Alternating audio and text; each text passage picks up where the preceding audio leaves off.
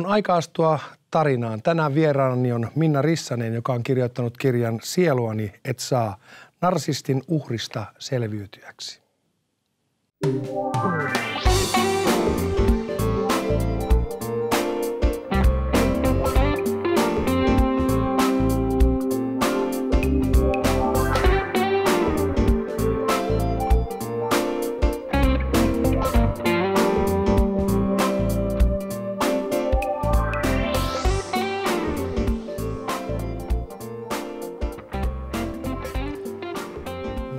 Minna Rissanen, sinä työskentelet tänä päivänä eduskunnassa. Minkälaiset tehtävät sulla siellä Arkadianmäellä on? No mä olen kansanedustaja Jouko Jäskeläisen avustaja. Mitä se tarkoittaa? No mä teen kaikkeni sen eteen, että Joukon työ olisi mahdollisimman joustavaa ja jouhevaa ja että hän saisi kaiken sen tiedon ja, ja avun, mitä hän tarvitsee. Mitä olet tykännyt tästä työstä? Mä oon tykännyt, oli tosi yllätys kyllä tipahtaa sinne Arkadian mäelle, että pikkasen joutui silmiä hierasemaan, että hetkinen, nyt on tyttö joutunut tänne, mutta tosi mielenkiintoinen avara. Siinä kyllä näkee tämän Suomen maan tilanteen aika kattavasti. No mitä sanoisit, missä Suomi menee tänä päivänä? Ahtaat on ajat ja tosi kovat koetukset, että oikein vähän jännittää, että miten kovasti rupeaa rytisemään. Joo. Tuota, Minna, sun elämässä on monenlaisia vaiheita ja voisi sanoa, että olet käynyt aika kovan korkeakoulun lävitse ja, ja, ja kaiken suoritettua pysynyt pystyssä, mutta mistä sä oot kotoisin? Minkälainen sun lapsuuden kuvio oli? Mistä päin Suomeen?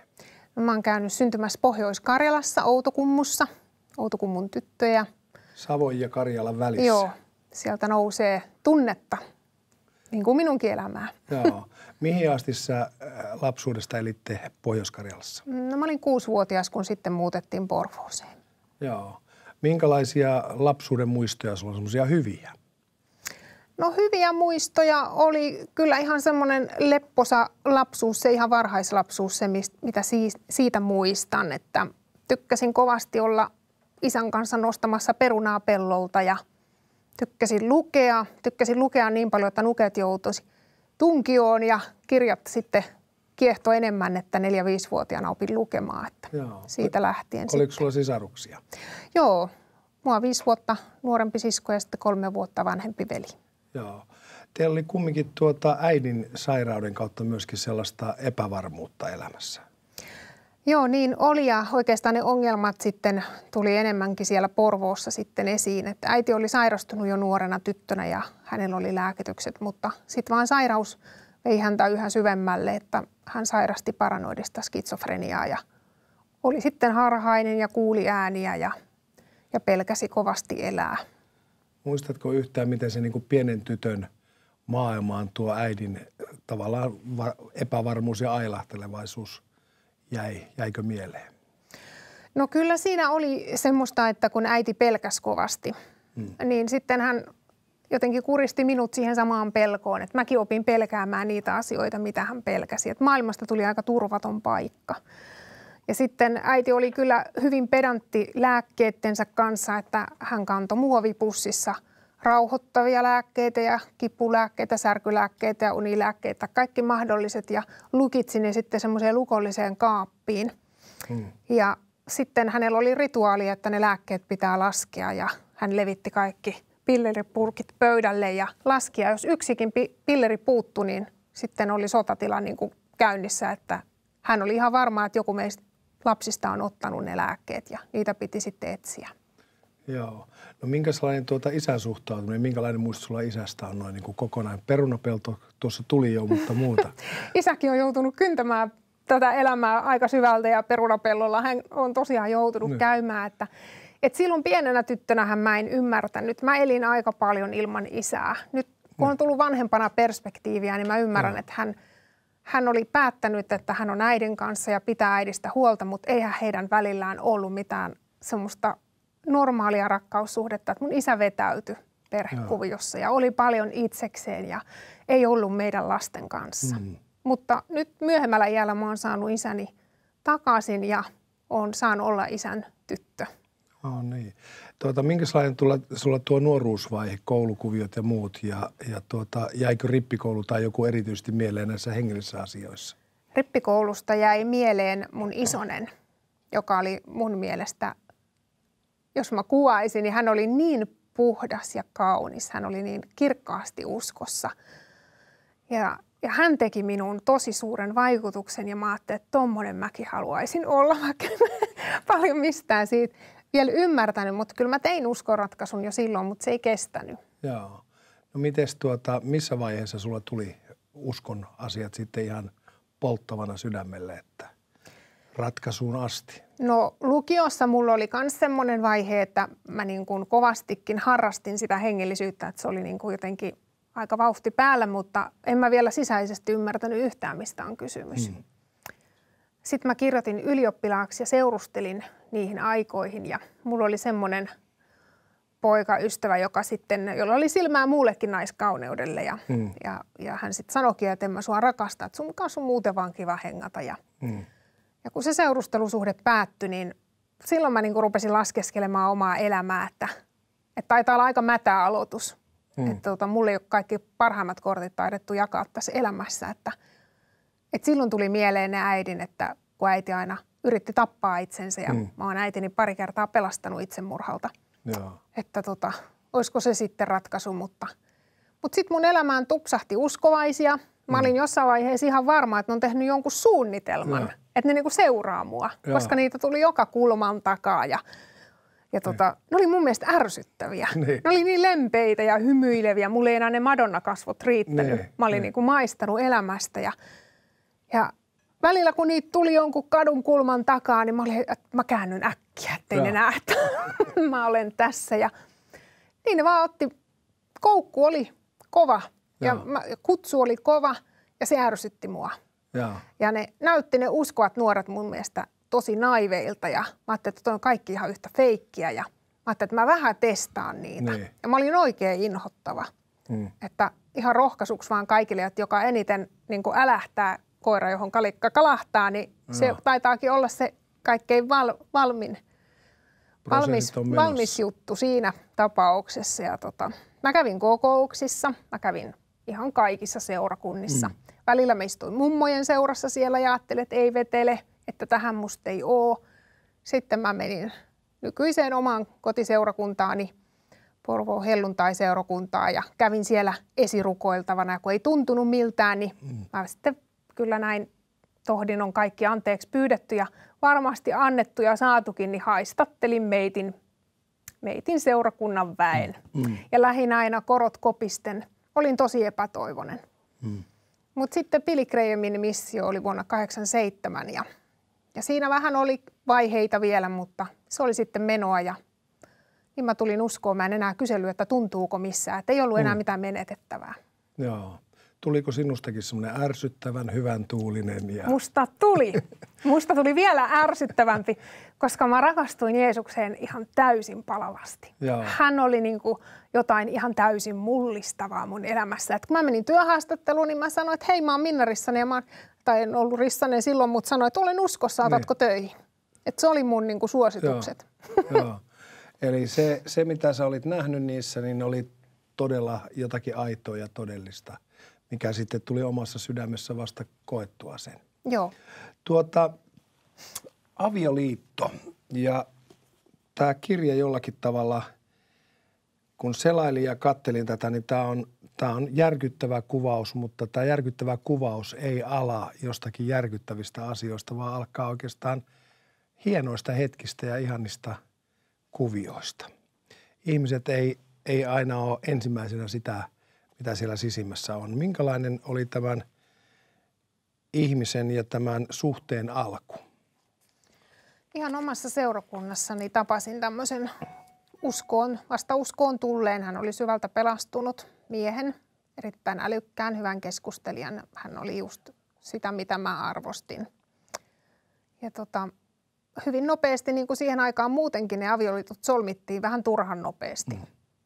Että ei, ei oikeastaan niin kuin tiedetty, mitä ollaan tekemässä, että, että on uskoon tulon jälkeen oikeastaan niin kuin se toiseksi suurin ratkaisu elämässä, mitä voi tehdä. Se määrää sun elämäsi suunnan sen jälkeen. Kenen kanssa sä menet naimisiin. Joo. Mutta sinisilmäisenä sitten rakastuneena solmin avioliito, joka päättyi sitten vähemmän hurmaavasti. Joo. Täällä sun kirjassa sivulla 74 sanotaan, narsisti on viehättävä, itsevarma, älykäs, empaattinen ja hyvä keskustelija. Hän luo karismaattisuudessaan taidokkaan, mutta valheellisen vaikutelman omasta ainutlaatuisuudestaan. Hän häikäisee uurinsa kuin kirkas auringonpaiste ja se saa katsojan siristämään silmiänsä. Sä oot kuvannut erittäin hienosti ja tietysti tämä on sellainen kirjan sivulla mm. näyttää niin kuin tarkalta analyysiltä, mutta minkälaista se oli niin kuin arjessa? No ensinhän mä olin hänelle se maailman ihmeellisin nainen ja ihminen, joka ymmärtää häntä paremmin kuin kukaan muu. No nyt täl, tähän ikään ehtineenä ja maailmaa nähneenä, niin eihän se näin ole. Ihmisellä pitäisi olla muitakin ihmissuhteita. Hänellä ei ollut. Hän oli ihan täysin yksinäinen susi, voi sanoa. Ja tota, pikkuhiljaa sitten, kun, kun hän näki, hän näki minussa sen kaipauksen, kun olin isätön tyttö tavallaan, että tämä naisihminen tarvitsee miehen hyväksyntää, niin sitä mm. hän mulle antoi. Mutta sitten kun hän katsoi, että nyt se on siinä, kun tämä ei tervassa, niin mm. sitten alkoi toisenlainen käsittely. Ja se tuli ihan yhtäkkiä, että sitä ei osannut aavistaa, ei ollut tehnyt mitään niin ihmeellistä, että olisi saanut ne moitteet osakseen, mutta sitten mm. tuli tosi, tosi kovaa niin kuin haukkumista ja, ja kun on uskovainen ja kovasti herkkä omatunto ja halusi tehdä asiat mm. hyvin ja hän alkoikin väittää, että mä oon hyvin it, niin kuin tota, noin epäilyttävä. Mun motiivit mm. on niin kuin hyvinkin epäilyttävät ja mä oon hyvin itsekäs mm. ihminen ja musta ei ole mitään hyvää. Mä en raamatustakaan tajua mitään. Mm. Ja miksi sä laulat aina toista ääntä, se ärsyttää. Mm. Ja älä itke. Mm. Kaikki oli väärin. Ihan miten päin vaan mä yritin olla, niin kaikki oli väärin. Ja mun ystävät oli täysin viallisia. Kaikissa niissä oli jotain juonittelua ja, ja ne oli vaimonsa alistajia ja mitä lienevätkään. Ja hän oli vaan ihmeellinen. Ja että mä saan olla onnellinen, kun mä olen hänen kanssaan, että hän suostuu mun kanssa olemaan ja, ja että meidän pitää satsata, että meistä tulee nyt jotain ihmeellistä mm. yhdessä. No tuota, tämä on aika voimakas sanoma, niin otit sä tämän sanoman ikään kuin itsellesi vastaan? Syyllistit sä itteesi?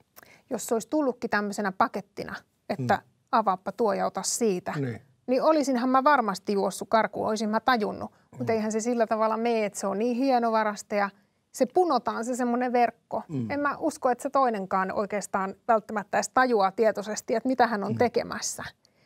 Että jääkö hän sitä tutkimaan. No tuota, pitkä tarina lyhyeksi. Miten, miten tavallaan sun irtiotto tai mikä johti irtiottoon ja miten se tapahtui? Kymmenen vuotta avioliittoa, kolme lasta, väkivaltaa. Kaikki väkivallan tasot, mitä voi ihmiselle tehdä, niin olen kokenut. Sosiaalisen eristämisen, henkisen väkivallan, fyysisen väkivallan. Ihan kaikki, mitä voit keksiä. Mm. Ja niin myös mun lapseni ovat joutuneet tosi kovan väkivallan, semmoisen sadistisen väkivallan kohteeksi, mm. mitä mä en pysty edes tässä edes sulle kertomaan. Mm. Mä en pysty. Mutta sen, semmoista, että et, et ruumillinen kuritus on niin kuin se ykkönen. Mm. Ja, ja lapset pitää karasta saunassa ja ruokapöydässä oli, elämä oli ihan täyttä ahdistusta. Mm. Niitä lapsia koulittiin, että niistä tulisi jotain hienoa. Mm. Ja tota, sitten kun hän alkoi juomaan, hän poltti itsensä loppuun työpaikalle ja löysi siihen vanhan ystävän alkoholin ja ja tota, nopeasti sitten romahti siinä. Ja siinä mm. avautui mulle se mahdollisuus päästä pakoon. Mä en tosin edes itse olisi uskaltanut lähteä. Mä lähdin ihan kyläreissulle. Mm. Niin hän uhkasi sitten, että nyt hän hakee miehet, että miten oot kehdannut lähteä. Siitä lähti mun tie turvakotiin. Mä yritin asustaa silloin Etelä-Suomessa, mutta en pystynyt, koska hän selvitti aina mun osoitteen. Ja niin mä jouduin sitten kun sain tappouhkaukset, kun hän tuli väkisin meidän kotiin ja, ja uhkasi, että hän tappaa, niin sitten jouduin lähtemään vähän pitemmälle. Tuota, siinä alkaa sinun elämässä sellainen toipuminen ja toipumisen jakso. Ja oliko, että näissä vaiheissa tämän jälkeen, niin sun sydämelle alkoi tulla paljon lauluja ja sait lauluja? Joo, se oli jo, joku semmoinen asia ne laulut, millä mm. Jumala piti mua hengissä. Mä olin tosi pettynyt Jumalaan ja tosi katkera. Mä ajattelin, että mä luotin sinuun. Tässäkö tämä on, mitä mä sain. Mm. Mä olin rukoillut sitä uskovaa aviopuolisoa monta vuotta. Mm. Ja ajattelin, että, että mä en uskalla Jumala sulta pyytää enää yhtään mitään, mutta hän antoi pyytämättä. Ja ne laulut, niin vaikka mä niin työstin niissä sitä kipua, niin Jumala oli aina sirotellut sinne sen sekaan sen toivon. Ja niiden laulujen, kun mä katoin niitä sanoja, mä ajattelin, että ahaa, mä nousen. Mä nousen. Ja lupasit, että me saadaan yksi näistä lauluista kuulla tähän, tähän väliin ja se oli nimeltään Jumala on pyhä. Mitä tämä laulu sulle merkitsee? Se kuvastaa ehkä just noita tuntoja. Kun mä ajattelin, että turhaanko mä oon kaiken laittanut sun varaan. Että eikö sä niin yhtään välitä. Ja kuinka hän lähti rakentamaan musta ihan uutta ihmistä. Ja kun tuossa laulu viimeisessä kestossa sanotaan, että hän tomusta nostaa köyhän, niin kyllä siellä Arkadian mäellä tämä on monesti muistunut mieleen. No niin, ja nyt saamme kuulla ja sinua säästää Onni Haapala.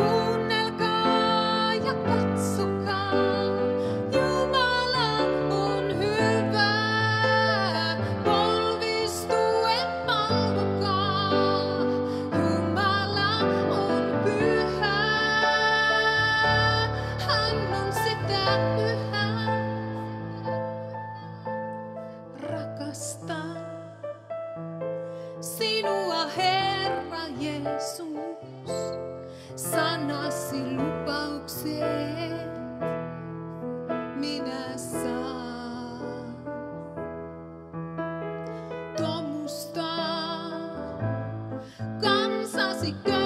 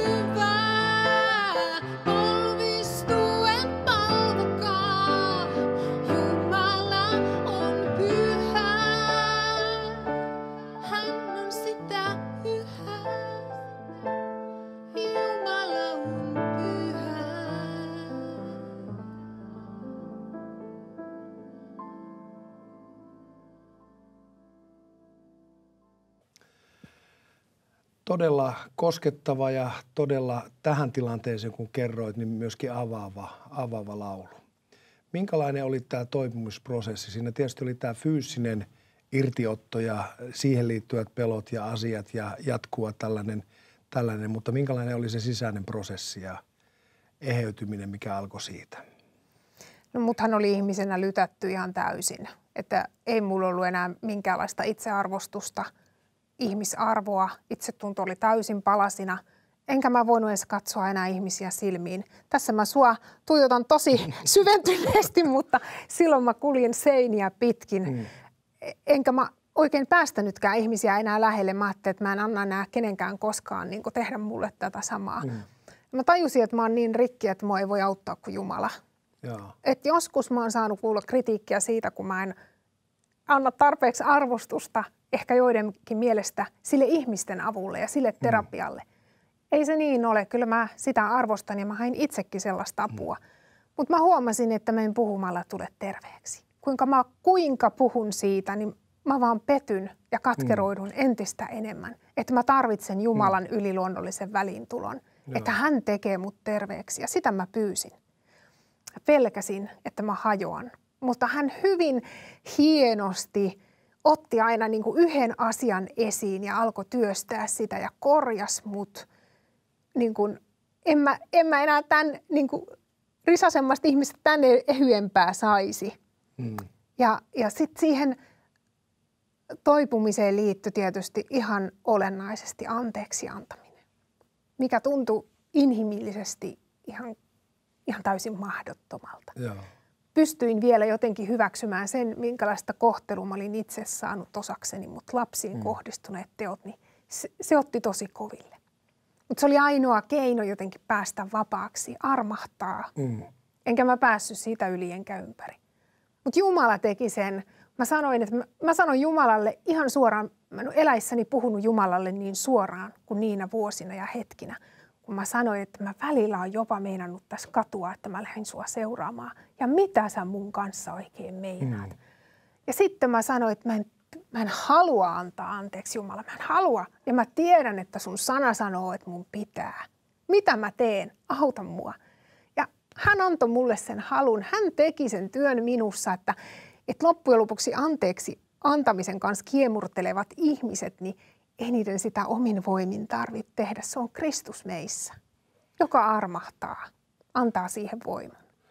Tuota, onko näillä väreillä jotakin, kun katsoo tässä esineitä, mitä sä oot tuonut ja mitä sulla on päällä ja mitä on kirjan selkämyksessä, niin oot sä aina ollut tämmöinen oranssiin taipuvainen? En ole ollut oranssi. Täytyy sanoa, että pikemminkin aika semmoinen, äh, kyllä musta temperamenttia on riittänyt, mutta en mä halunnut mä en ole mikään kulkeva värikartta ollut, mutta tota, sen toipumisen myötä mulle tuli tämä oranssi. Mä yhtäkkiä Joo. huomasin, että mähän viihdyn, että tämähän istuu mulle kuin nappisilmää, mm. että tässä värissä mä viihdyn, se antaa mulle voimaa. Tuota, tuo äänite, jonka toit mukana, on päästä irti. Onko sillä tekemistä, mulle tuli tuossa, kun puhut anteeksi antamisesta ja näistä asioista, niin onko sillä näiden kanssa tekemistä vai onko sillä joku erilainen sanoma? Kyllä siihen varmasti voiton anteeksi antamisenkin liittää. Ja sitten semmoinen, että, että on tullut, kun on, mä menetin kaiken. Mm. Mä, kaikki omaisuus meni, hän myi sen ja mä lähdin niin kuin ihan nollasta vieraiden ihmisten keskeltä. Mä huolehdin ja murehdin mm. elämää. Niin mä tajusin, että mä murehtimalla saa tästä mitään aikaiseksi, että mun täytyy luottaa Jumalaan ja päästää irti kaikista mun mm. ajatuksista ja suunnitelmista ja huolista – ja aina silloin, kun mä oon sen voinut tehdä, niin mun sydämessä on ollut kyllä juhlafanfaarin paikka, että niin kevyt on olla silloin, että, mm. mutta se aina meinaa palata se huoli ja huolehtiminen. Mm. Et, et siksi täytyy muistuttaa itseä, että päästä irti. Joo.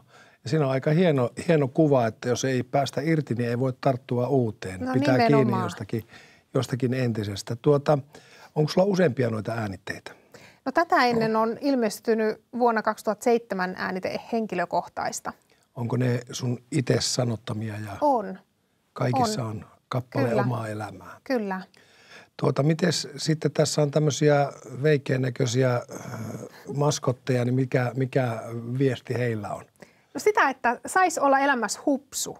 Niin. Että uskoakin voisi olla ihan rennosti sitä, mitä se on. Mm. Mä oon niin kuin tämän prosessin myötä jotenkin ajatellut, että ei tämä on niin vakavaa tämä elämä. Tai just siksi, koska se on niin vakavaa, niin välillä pitäisi irrotella ja silloin mä pistän nämä ketut peliin.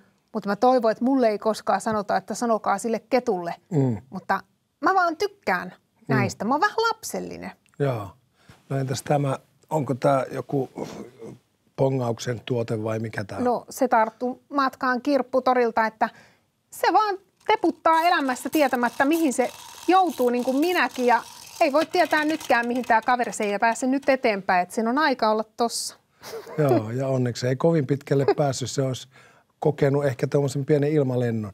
Tuota, sä oot tänä päivänä onnellisesti naimisissa. Kyllä. No miten tämä uusi suhde ja mitä, mitä tämä elämä tänä päivänä sinulle? No mä en oikeastaan, kyllä mä haaveilin uudesta puolisosta hmm. jossain vaiheessa silloin, kun lapset oli vielä kuitenkin alakouluiässä. Mä hmm. ajattelin, että nyt tähän olisi vielä jonkun uroon ihan sopiva tulla. Hmm. Mutta ei ollut mun aikataulut. Mun mieheni ilmestyi kuvioihin sitten, kun lapset alkoi olla jo murrosiassa. Mä ajattelin, että voi kamalaa. Hmm. Ja tota, se naimisiin menokin tuntui aluksi. Mä olin kahdeksan vuotta ollut yksi, että miten tässä nyt niinku, tämä homma hoituu. Mutta hmm. Jumala antoi mulle niin hyvän miehen, hmm. niin todella hyvän miehen. Ö, mä en ole normaalia elämää elänytkään. Hmm. Että tota, aikamoista elämää. Ja sekin oli vähän opettelua, opetella elämään tuommoisen hyvän tasapainoisen miehen hmm. rinnalla. Mutta hänellä on niin paljon ymmärtämystä ja rakkautta mua kohtaan, että hän on kestänyt niin kuin mun tuittuilut välillä, kun mä oon niin kuin ettinyt itseäni, että mihin mä mm. tähän nyt asetun. Hän on hyvä ja rakas puoliso Kimmo minulle. Tuota, sulla on sieluhoitokoulutusta, olet paljon ollut naistenpäivillä puhumissa näistä asioista ja sitten myöskin tämän musiikin kanssa, mutta erityisesti sulla on nuorten, nuorten elämä ja nuorten tavallaan ahdistuneisuus sydämellä, niin mä pyytäisin tähän loppuun, tässä on semmoinen reilu minuutti aikaa, niin jos tätä katsoo joku nuori tai nuoren vanhempi, niin sano tuohon mun takana olevalle kameralle joku semmoinen lohdutuksia ja rohkaisusana, mikä tulee sun omasta elämästä ja omasta elämän kokemuksesta. Mä tiedän, että sä voit olla tosi masentunut ja ahdistunut, etkä edes tiedä, mistä se johtuu. Ja susta tuntuu, että et sä vois siitä puhua. Ja vaikka sä puhuisitkin jollekin, niin ei se ymmärrä. Se ei pääse käsiksi siihen, kun sä et oikein itsekään aina tajua, mistä se ahdistus tulee. Mä oon itse kokenut sen, kun ei kukaan ihminen enää mua voinut auttaa. Että on Jeesus, joka voi tehdä enemmän kuin kukaan ihminen. Nipputerapeutteja. Sä voit päästä vapaaksi ja saada avun uskomalla häneen, antamalla hänelle kaikki valtuudet tehdä työnsä sun elämässä. Jumala voi. Kiitos Minna Rissanen. Tässä tuli minullekin tämmöistä hyvää väriterapiaa ja erittäin hienolla tavalla se, että elämässä voi olla todella vaikeita päiviä, mutta vielä aurinko nousee ja vielä lupaukset täyttyy. Oikein hyvää ja mielenkiintoista elämää ja vie sinne kotia oikein lämpöiset terveiset. Kerrotaan.